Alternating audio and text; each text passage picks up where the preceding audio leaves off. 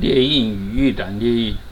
当我们的文章编辑好了，我们需要列印，那我们可以选择档案，选择列印。那我这边没有设定印表机，所以它直接选择传输到某一个软体里面。啊，你可以列印至档案也可以。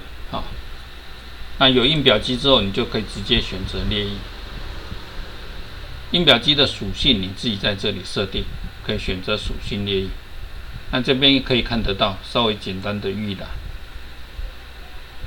好印出来的状况大概是什么样子？那你也可以选择我要列印第几页。列印的时候可以后面的先印。好，各种设定基本上这些跟商业软体上面设定大同小异，没什么差太大差别。那你也可以选择列印预览。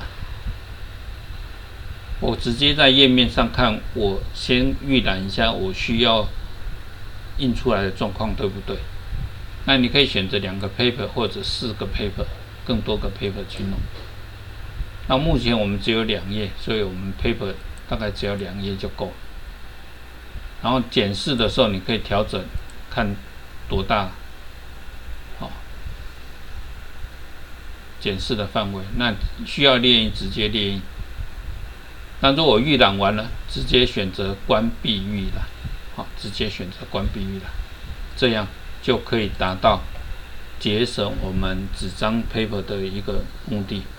我们档案编辑正确的之后，再一次的做列印动作。